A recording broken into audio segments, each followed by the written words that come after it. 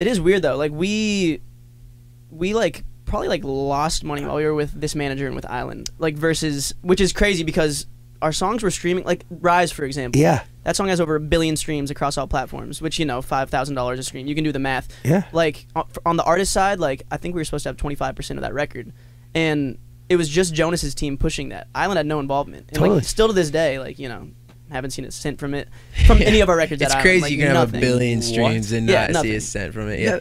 And It was like- meanwhile, and meanwhile, this manager was like spending our money on like pop up shows, like that. Oh, you're gonna get reimbursed for it, and it's like, dude, he was just digging us a hole.